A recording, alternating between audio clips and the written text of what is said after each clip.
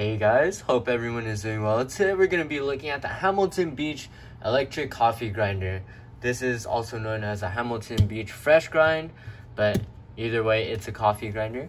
So here's a little 360 view of it.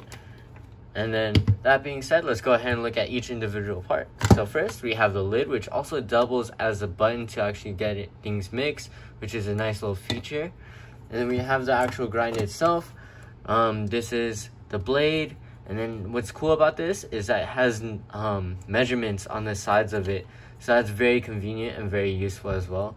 So this is what actually like mixes the beans and spices. And then don't mind it being a little wet. I rinsed it off and cleaned it for the sake of this video. But here's how it looks like. Without further ado, let's go ahead and pop this back on. Super simple to put on. Just simply twist it and it lines up nicely too to the measurements. You get that popped off. There we go. Now that topped off, we're gonna simply just go ahead and get our cord right here and power it on. So I don't currently have any coffee beans, but that's okay. That won't stop me from showing it to you guys. So here's how it looks like all put together.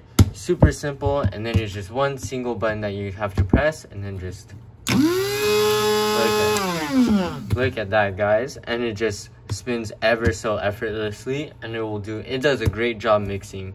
Once again. Look at that. Very reliant, very good overall products for mixing those coffee beans and grounding up whatever spice you have in here. Highly suggest it. Thank you guys so much for watching.